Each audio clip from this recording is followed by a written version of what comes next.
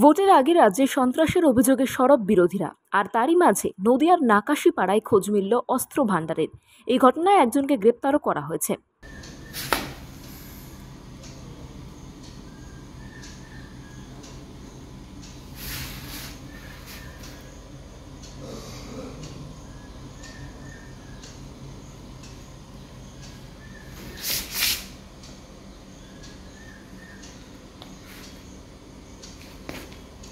You Bangla TV হৃদয় ছুঁয়ে যায়।